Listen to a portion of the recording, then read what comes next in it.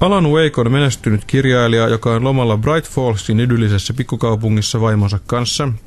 Seuraavaksi Alan jo herääkin kolaroineesta autosta muistinmenetyksestä kärsijän. Vaimo ja edelliset seitsemän päivää ovat kadonneet. Alan alkaa löytää sivuja kirjasta, jossa hän itse seikkailee, jonka tapahtuvat näyttävät käyvän toteen. Samalla synkkä pimeydessä vaaniva voima ottaa haltuunsa kaupunkilaisia ja käy Alaninkin kimppuun. Mistä oikein on kyse? Onko Alan seonnut? Juonenkäänteitä selvitellessään Alan tutkii hurmaavasti vinksahtanutta pikkukaupunkia ja taistelee valolla päällekkäyvää pimeyttä vastaan. Pimeys ottaa haltuunsa ihmisiä ja esineitä ja sitä pitää heikentää taskulampulle ennen kuin sen voi ampua pois päiviltä. Taskulampu onkin pelaajan paras kaveri ja paristot arvokkaita aarteita. Pimeissä metsissä juoksentelu näyttää ja tuntuu todella mielenkiintoiselta, koska valot ja varjot on toteutettu huikean hienosti. Niihin ei kyllästy useiden tuntienkaan jälkeen. Yleensä peleissä pimeässä hortoilu on ärsyttävää, mutta näin ei Waken kanssa pääse käymään. Bright Falls on ison mittakaavan pelialue, jossa kuljetaan pitkiä matkoja välillä autollakin.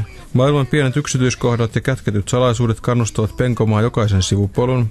Peli on erinomaisesti kirjoitettu ja se pitää pelaajan arvuuttelemassa ja aivot hyrräämässä. Salaisuuksia roikotetaan pelaajan nenän edessä ihan kuin hyvissä TV-sarjoissa.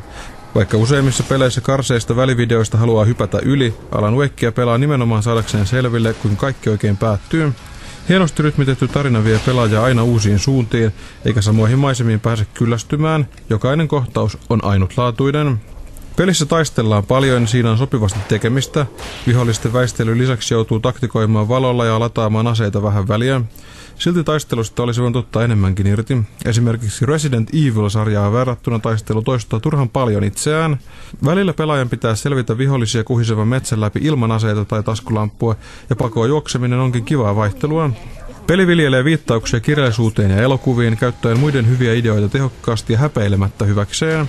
Hahmot ja dialogi ovat poikkeuksellisen hyvin kirjoitettuja, siksi on sääli, että hahmojen animaatio oli ihan samalla tasolla muun toteutuksen kanssa.